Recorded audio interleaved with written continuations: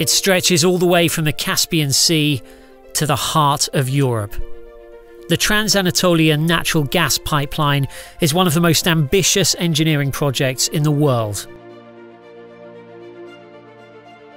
Covering more than 1800 kilometres and travelling through some of the planet's most hostile terrain, it can carry 12.5 billion cubic metres of natural gas straight into Europe.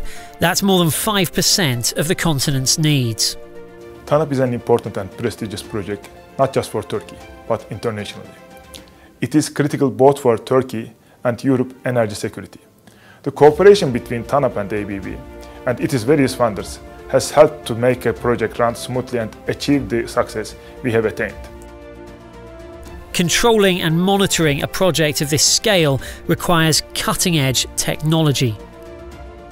From this high tech main control room in Ankara, every part of the process can be checked and controlled by ABB's 800XA process automation system, which integrates SCADA control systems with a far reaching telecoms network.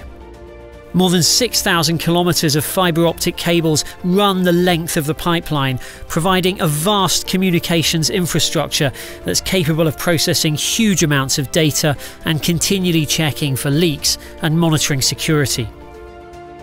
MCC facility is not only a building construction, but it is an implementation of ABB's high technology systems by different subcontractors. TANAP accepted MCC as a visual indicator of successful completion of the project.